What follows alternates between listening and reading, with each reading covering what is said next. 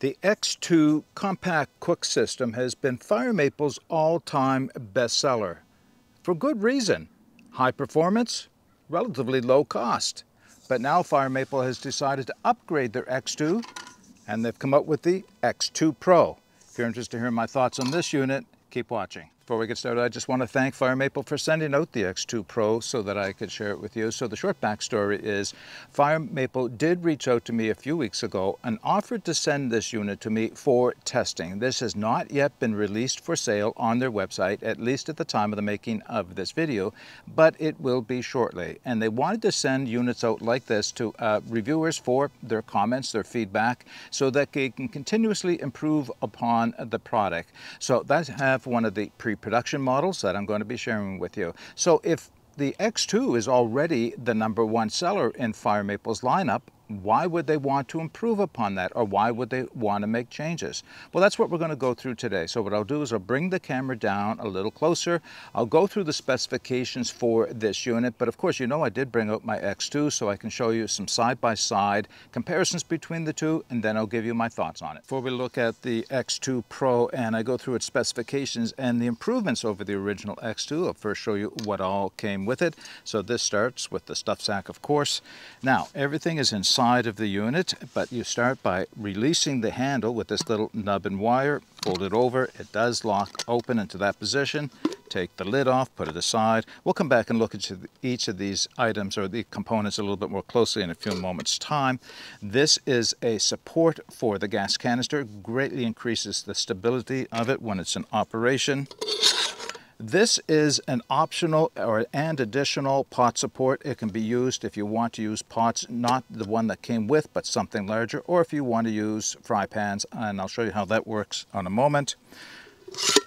And then, of course, the burner unit itself. I'll come back to the pot in a minute. So there is the burner unit. I'll just give you a few close-ups, and then I'll reach for my spec sheet, we'll go through the specifications. Overall weight, all included with it in the stuff sack, would come in at 19.8 ounces, or 560 grams. Height top to bottom is 8.1 inches or 207 millimeters. Diameter across the top 5.3 inches, 134 millimeters. Now as far as the burner itself, and of course I'll be showing you that again in a moment, it is a 700 or 7500 BTU or 2.2 kilowatt hour burner, which is, I'll say it now, it's identical to the one in the X2. There's much the same with just a few differences. Now, the Fire Maple rates the fuel consumption on this at 158 grams per hour. I think that's a little bit difficult to judge for me, but I will tell you uh, what I have as far as testing goes in a moment's time. All right, let's go over what Fire Maple say are the changes, improvements over the original X2. And one of the first things they did was to drop the weight of the entire unit by 70 grams. So that's not insignificant. That's a fair amount of a weight loss. And I looked at the two of them side by side, and I'll bring the other one back into the picture in a moment. And I think I know at least where some of the weight savings came from. Now, that's one of the things. The other thing that they wanted to do was change the look a little bit to make it less plasticky, to improve the look or the aesthetics of it. And uh, yeah, well, uh, I'll let you pass pin on that yourself. So one of the other changes is right here in the pot. So one of the things they've done is they've changed the handle quite a bit. In fact, let me just show you the original handle and then I can show you the new one. Now, they both still have the locking ball on a wire right here. Nice feature, of course.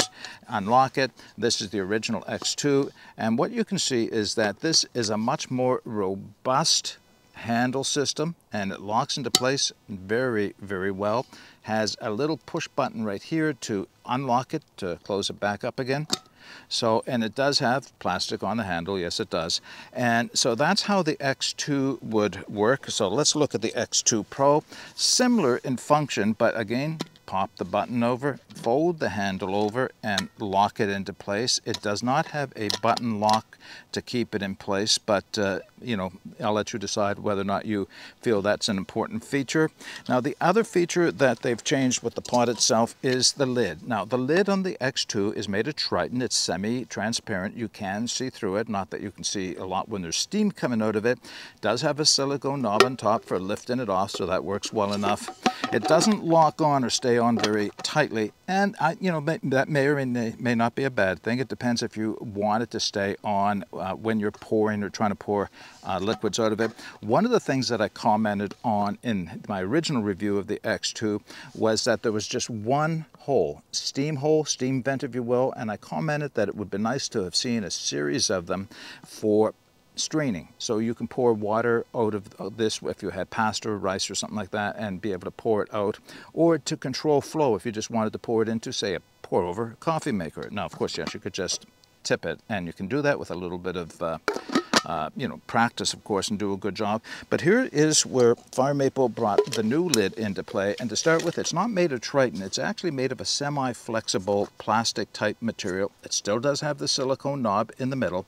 But here are a couple of improvements. Number one, this will lock on to the top of the pot, more or less. You can see there's a groove around the here. And this will lock on if you want to push it down. It stays on pretty tight, right? And it has a little piece right here, a little extension to lift it off. It has three drain holes now. Great improvement for pouring liquids off if you want to do some straining. And just a little lip right here. And my guess is, and in practice it works okay, is it kind of directs the flow. As you start to tip this, this will direct, its, direct the flow so it doesn't dribble downwards it works is all I can say. I can't say it's a, you know, a eureka moment, but it works, okay? So uh, the lid is a definite improvement on this unit for sure. Now, what I want to do is just bring the other pot back in. I'm going to take the lid off is the easiest way to do it for both of them and show you where they made a few changes on the pots themselves. So again, here is the original X2, and I want you to take note of the slots on the outside of the heat exchanger. You can see the fins of the heat exchanger inside there now. And you do have to have some type of an exhausting around there, so when the flame is coming up, spreading out, going through the heat exchanger, it does have to be allowed to move outwards, otherwise it's going to choke itself off. So there are the slots on the X2, and here are, they're not slots anymore, they're quite huge, huge windows or openings on the X2 Pro. I'll have more comments about that in a moment, but one of the things I believe is this is where they were able to reduce some of the weight, at least in the pot, was by opening up the exhaust around the base where the heat exchanger is. Now, let me bring the two burners into the picture. Start with the original X2. It's nice that this one is orange so I don't have to worry, you know, try to figure out which one is which. They both have piezoelectric lighters. You can see where it is next to the burner right there. There's the push button down there. They're identical. It's identical burners is what it is. So that's the two of them side by side. Now, visually, uh, here's one of the things that Fire Maple tried to do, which was improve the look of it, the aesthetics of it, to make it less plasticky looking. Personally, I had no issue with the old one at all. And, but there is the addition of a metal ring on the new one, presumably to make it look stronger. Uh, yeah, maybe, but there is extra metal on this, and I'll tell you, it actually increased the weight, so that's part of it. Now, part of it does have to do with safety and function, and let me show you this underneath. So here's the original X2. You can see where the Lindal valve connection is. That would go on the canister. Here is the underside of the X2 Pro big change right here. Now there is this ring around the Lindal valve and that was done for safety and strength and durability because now that will seat on the, the canister and I'll put the canister on in a minute so you can see it around the outside of the canister to give it more support from lateral stresses. Yep, I can absolutely see that. You can also see that there is more metal underneath here with the supports going out to the far sides of this and again that metal metal ring. All told, it adds up in weight. It does feel, it not feel, it is a little bit heavier. I'll put the weight differential in the video description if you're interested. So I'm not quite sure where they got a weight savings between the two of them, when in fact there's actually more metal in this one. Now, I don't know that there was an issue with the original X2, but if this is safer and stronger, yeah, I'll take that. I don't, I don't see any reason why not to. So that's the two burners side by side. Now just let me put the canister on so that you can see how that would work with this rim around here. Start the threading. There we go. On nice and snug and hopefully I can get in there tight enough that you can, with the camera, that you can see where it seats right there. So it's stronger from lateral forces. Again, I don't know that there was an issue with the original X2, but uh, yeah, I believe there is a safety improvement there. All right, now let me just show you one last thing before we move on, and that is how the extra pot support. So this is what you get to support pots that are larger than the one that came with it, or fry pans. And you start by taking the four legs and fold them inwards. And what happens is, is you have these uh, notches, if you will, little slots turn outwards, and they're going to go on top of the burner, and you can turn them, and they lock into place. So there you're ready to use this now for pans or larger pots. All right, before I give you my uh, thoughts on the X2 Pro, I wanted to talk about some testing I did side by side with the original X2 to see if there was any difference in performance. And the reason I did that testing is, well, when I first looked at the X2 Pro, that's when I noticed the cutouts around the heat exchanger fins. Once again, let me bring in the original X2, and you can see how much more metal there is around the base, around the heat exchanger fins on the X2, as opposed to how much more open it is around the X2 Pro. Now, here was my thinking. I wondered if, if when there were some lateral winds, if it would affect the performance of the X2 Pro.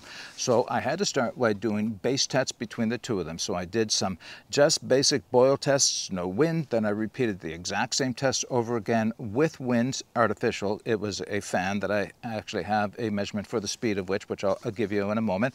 And I recorded those results. So let me do that now. Now, what you need to know first off is that the Fire Maple website gives a, difference, a different performance result than what I'm going to share with you now. So this is true for both the X2 and the X2 Pro. And they say that you can get a half a liter, 500 milliliters, two cups of water, to a boil in 1 minute 42 seconds. I could never get it to a boil that quickly. Now yes, there are a number of factors that can affect a boil time. To start with, how cold was the water when they started? Certainly mine was tap cold, and that's what I started with, so I don't know what they started with. It's also a judgment about what is a boil time, or what is a boil. Uh, for me, I have to see a rolling boil. Now, it's not necessary to get to a rolling boil of 212 degrees Fahrenheit, 100 degrees Celsius, in order to uh, purify your water. You can pasteurize your water at a much lower temperature, certainly by 175, even down to 150 55, depends on where, what sources you're looking at. So the problem is though, what, how do you know what the temperature of the water is by looking at it, unless you have a thermometer, which most of us don't carry in the woods, I don't. Um, so we look for a rolling boil. And that's what I was looking for. And that's how I measured mine. I suspect they didn't bring it to a full rolling boil. So they got a minute and 42 second. With the X2, the original, I got two minutes, 56 seconds and six grams of fuel used. Now that's turning the, uh, the valve wide open. You can vary the times, the boil times and the uh, fuel consumption by going to half open if you want to. Uh, again, I was looking for a side-by-side -side comparison. So wide wide open. That's what I got. 2 minutes 56, 6 grams of fuel. So guess what I got with the X2 Pro? 2 minutes 56 seconds, 6 grams of fuel. So as far as a standard test, the two stoves are, are the two units, the, the, whole, the entire unit, came out with exactly the same performance side by side. And that's pretty much what I expected. But then I put a fan in front of each of the units and I have a little wind meter, anemometer, I'm not even going to try to pronounce it correctly, and I measured the wind that I got from the fan and um, let's see, what was the wind here? 10.9 uh, kilometers per hour or 6.7 miles per hour and uh, on my meter it registered at 3 meters per second, so that's the math if you do it out. Big difference in performance this time. X2, the original, took 4 minutes 26 seconds and 7 grams of fuel to bring 2 cups of water to a boil. That wasn't unexpected. If you add wind, you are going to slow the boil times down. The X2 Pro, 4 minutes 56 seconds and 8 grams of fuel uh, burnt. So it took, uh, what, 30 more seconds to bring two cups of water to a boil. Yeah, no, I know that doesn't sound like a whole lot unless every gram of fuel matters to you. Not the time, but the gram of fuel. So each boil, if I was doing this in windy conditions, each boil would, would take one gram of fuel more to bring the water to a full temperature. Okay, I may be just you know, looking for small things here and differences. Functionally, they are very close to the same. There's not a huge difference between the two of them, but there is a bit of a difference. So I just wanted to answer that question. Now, let me bring the two of them back into the picture, and I'll talk about my opinions on the changes that were made between the two units. So, by the way, the X2 Pro will continue for sale for quite some time, or excuse me, the X2 will continue for sale for quite some time on Fire Maple's website before they fade phase it out in, in uh, favor of the X2 Pro. And I was told the reason for doing that is they wanted to get customer feedback on the X2 Pro and incorporate any changes before they get rid of their all-time bestseller. Some of the things I really liked about the X2 is the handle. I really liked the stability of this handle. It's just very solid, locks in solidly, is not going to uh, move or you know open up on you un, unintentionally. Uh, yeah, I really like that. The lid, yes, I think I would go with a better lid. There's nothing wrong with the Tritan lid. In fact, I had intentions of actually drilling some more holes in this. I may or may not do that. Everything else about the pots, uh, with the exception, of course, the vents across the bottom, are the same. So let me bring in the X2 Pro. Here's my first impression when I open this up. I did not like the handle, and I still do not like the handle. I do not see this as an improvement over the original. It doesn't lock in securely enough for me, and it remains rattly, as you can see here. And I put that comment right back to Fire Maple the moment that I tested it. Now, if it's just a aesthetic thing, I don't like the look of it, I don't like the feel of it, that would be bad enough. But I am a little afraid that it's not going to be as strong in an actual use as well. So to start with, let me bring the other one back into the picture. The handle, the plastic, that's really nice and comfortable to hold on to. It really is. There's no sharp edges. Uh, you know, it just feels good in the hand, nice and secure and everything else. Not so with the X2 Pro. That is actually uncomfortable in the hand. Now, you're not gripping onto it really hard, but you are holding onto it like this while you use it. And I can actually feel that digging in my hand. Okay, I'm complaining about small things here, but there is a difference. I do not see this as an improvement. Now, here is where things got interesting. Let me just put the two it on top of the stove. Okay, now this is going to have to be simulated, but this is locked on. You can see it's locked onto the stove right now. And what I found is, is when the water came to a boil and the metal expanded some, which is of something that's going to happen, quite often they get a little tight. I don't always lock it on for that reason. Actually, you can see the issue right now. You have to kind of push it. Now, Again, it's a little tight when you, when the metal is hot, but uh, th that's not the issue. They, you just grab onto the, the base down here and you push the handle sideways. It's in pushing the handle sideways that I feel like it's going to give on me. It just feels like it's moving too much in my hands. Can you see how it moves like this? Maybe I'm being fussy and maybe I just like the X2 better, but that's my thoughts on it. Now, it hasn't failed on me, and I don't want to suggest that it will fail, but I do not see that necessarily as an improvement. And again, here's something else that hasn't happened, but again, could happen, and that is if this is full and you, it'll hold up to a liter of water, down to the, the measurement inside. And I'm tipping it. I'm a little worried that if I get to a point, it's actually going to unhook like this. Hasn't happened yet, but then again, I don't usually boil a full liter of water that I have to pour out, so there's not that much weight inside of this. Small things maybe, but uh, they are my impressions on it. When it comes to the lid, I see this as a huge improvement over the original. You don't have to lock it on, but you do have the option of doing so.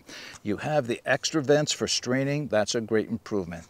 You have the lift part to take it off, also an improvement. And yeah, there is some improvement in flow control when you're pouring, if you're pouring with the lid off on with this little bit of a lip. Okay, those are my thoughts on the X2 Pro compared with the X2. It's still a good stove, but in my opinion, I prefer the original X2. But now I'm opening it up to you. What are your thoughts on this new X2 Pro? If Do you like it? Do you see room for improvement in it? Put, put all of that in the comments section. Of course, all the specifications as well as any links that I have will be in the video description. But until next time, get out and explore and take that path less traveled because it will make all the difference. Bye for now.